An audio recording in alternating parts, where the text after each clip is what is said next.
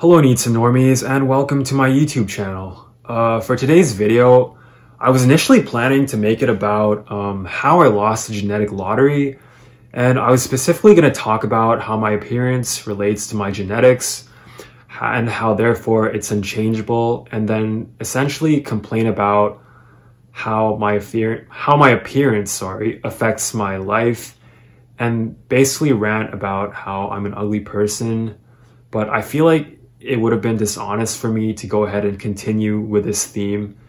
Uh, given that my opinions on this have somewhat changed a little bit. And this was mostly due to a bunch of messages that I've received over the past um, I guess few weeks. And coincidentally, more so within the past um, few days, uh, basically telling me things like, um, and just to clarify, I think this is this is because I sort of mentioned that I would be making this video in my first video, and I think like one video after that. But basically, I think the overall theme of these messages was that I was not as ugly as I thought I was, and that I'm overthinking things regarding my appearance, that I haven't lost genetic lottery, and that maybe if I put some time into my appearance, for example, like getting a new haircut, then I could look better. And, you know, one person even said that I was cute. Sorry, that was terrible.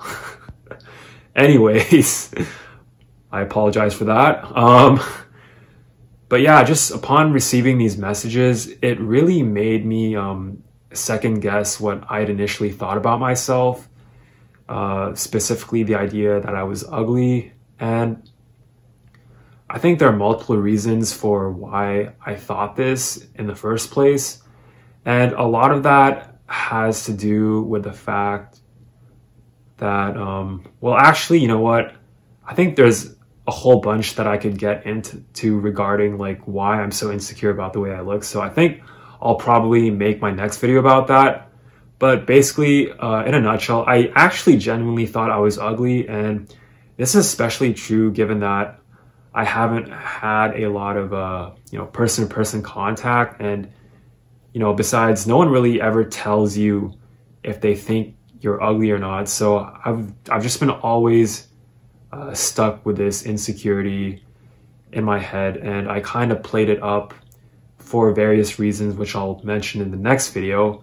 But anyways, given that my opinions of that have somewhat changed, you know, for the better, thankfully, um, I think instead I'll be titling this video, uh, my five biggest insecurities about my appearance or something along those lines. And basically, I'll be talking about a lot of the same issues I have with myself as I would have if I had made the original idea for the video.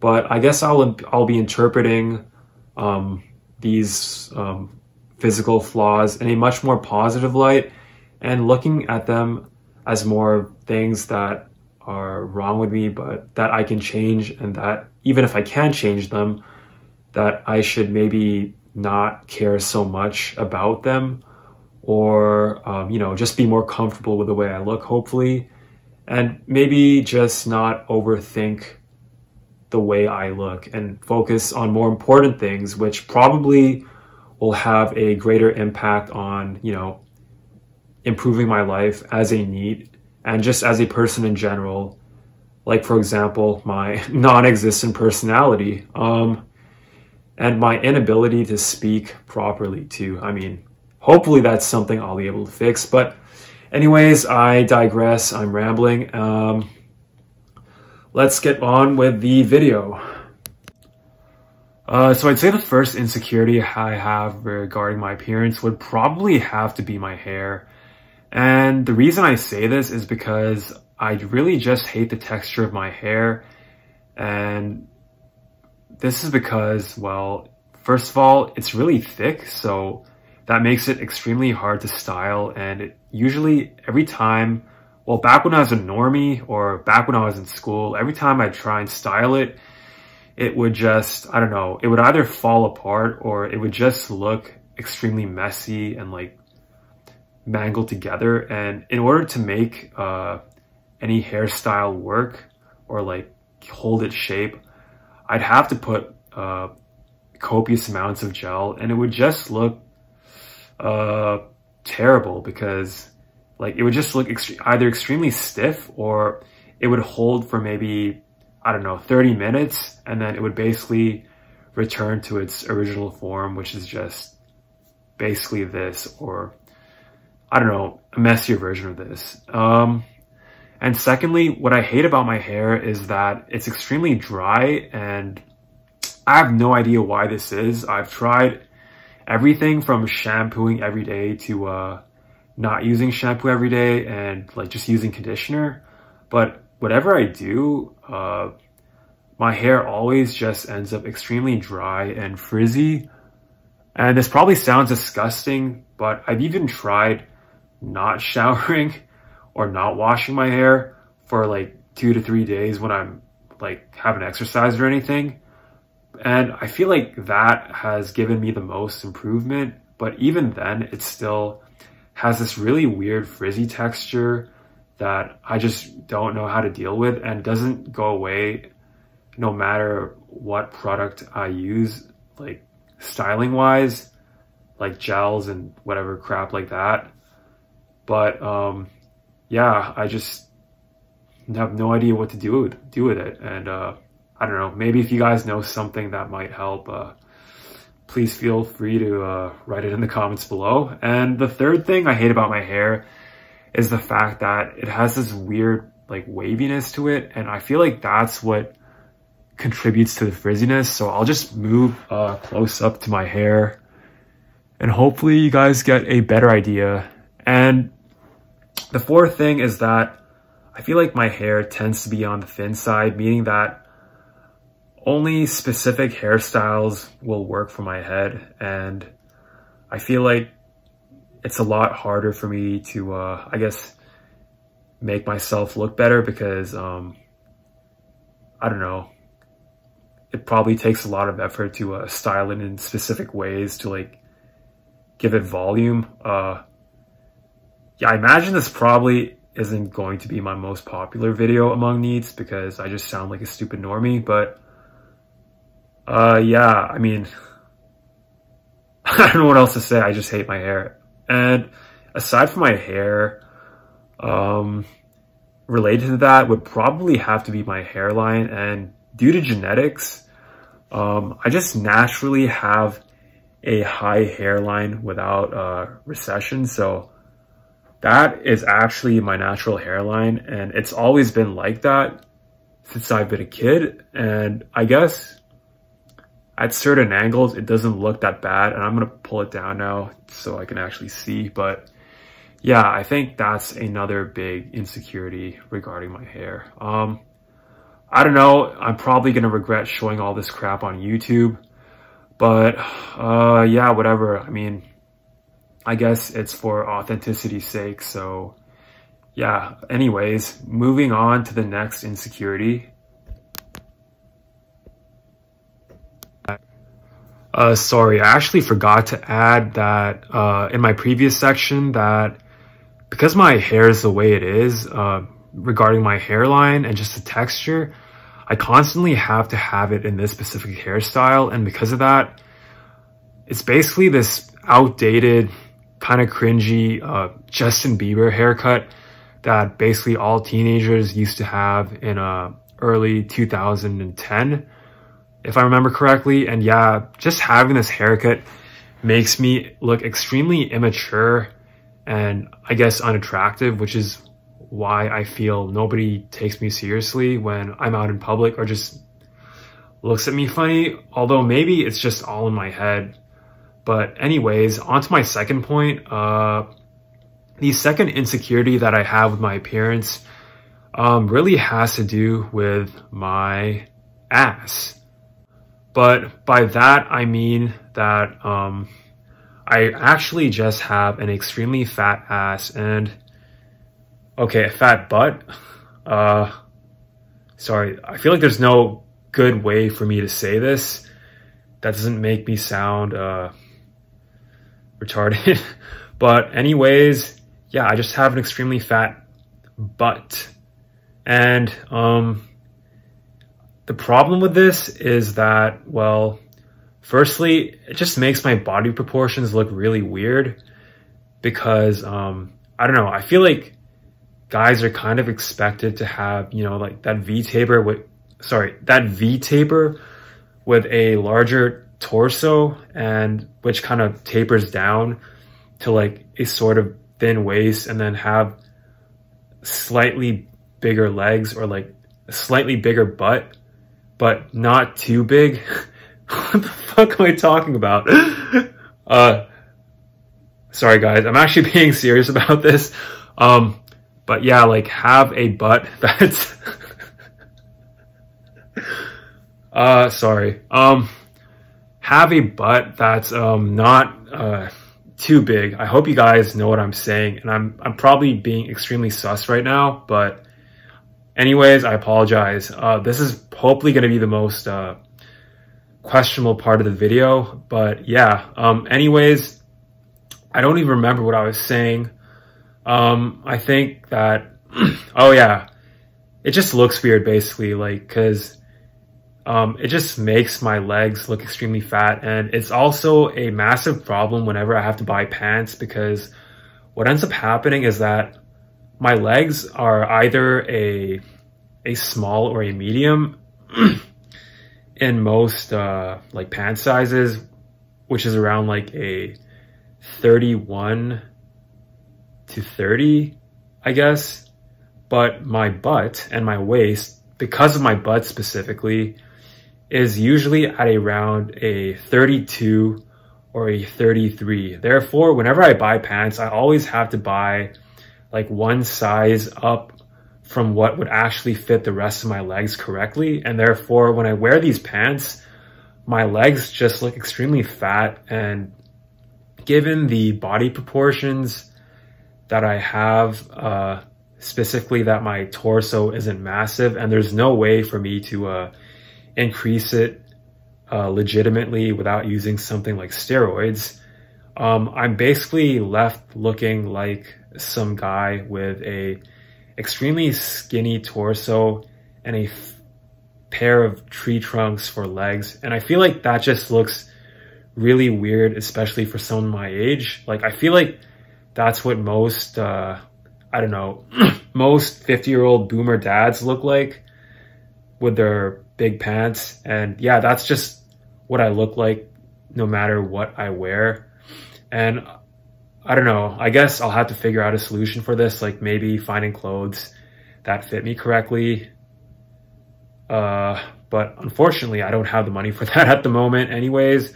But yeah, that's just been a huge problem with my life. And I feel like it just makes me stick out like a sore thumb whenever I'm walking around in public and it, I've become really self-conscious about it. And um, yeah, anyways, the reason I set up the camera here is so that I could show you how big my butt is. Are you prepared?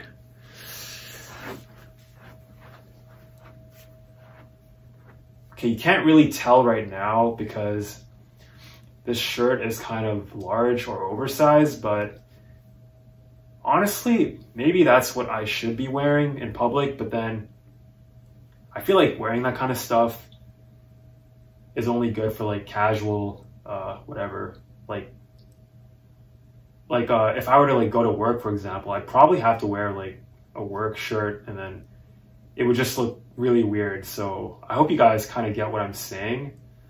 Uh,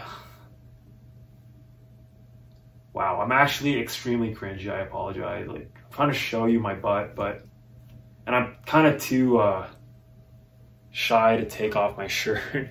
but yeah, because I don't really want like, I don't really want footage of me with my clothes off uh, on YouTube. Anyways, you'll just have to take my word for it. Maybe if I have, if I'm wearing clothes that kind of show off the problem more, I'll uh, show that. Anyways, on to the next insecurity.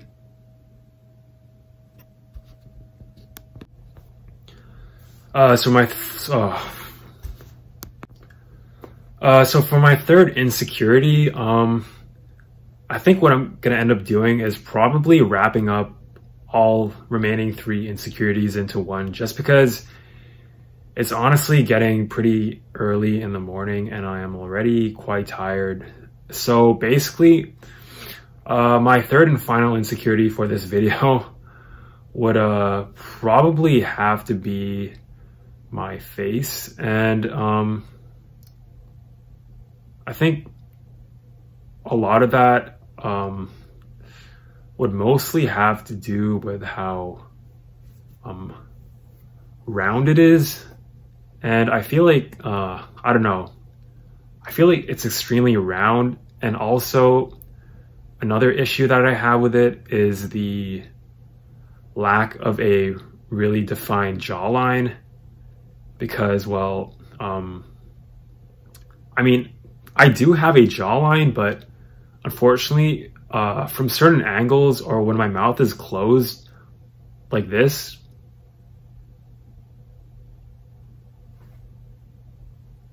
it's not really like visible or just looks like this weird round like um curve. And that's honestly because uh my I guess my fifth insecurity like I've kind of lost count now because I'm pretty tired uh which is my teeth, which are, should I be showing my crooked teeth on YouTube?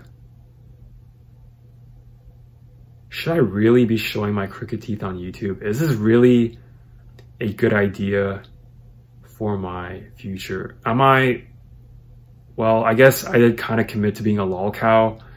So yeah, I will show my crooked teeth. Oh god, that, that's that's cringe. Okay, okay, I'm sorry. I'm sorry you have that image burned into your eyes. Um, but yeah, as you can see, I do kind of have an overbite and that overbite along with, I guess, maybe the crookedness of my teeth, uh, kind of pushes my lip outwards. And therefore, when I'm resting my mouth or when my mouth is in a closed uh, position, it's actually um, kind of pushing my lips outwards and therefore uh, I guess my jaw has to close or the skin around my uh, jaw or my chin, sorry, that's the right word, my chin uh, um, basically has to fold more so it ends up um, forming this round shape.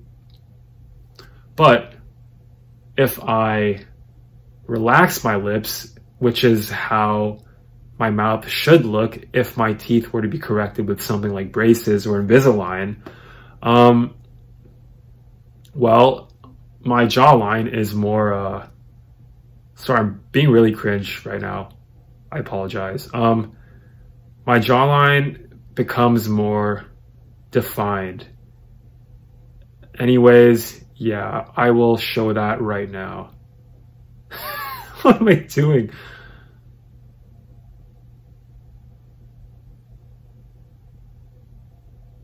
Okay, I'm sorry. This is probably, uh, this is terrible content, guys. Um, and I apologize to my viewers and my fans.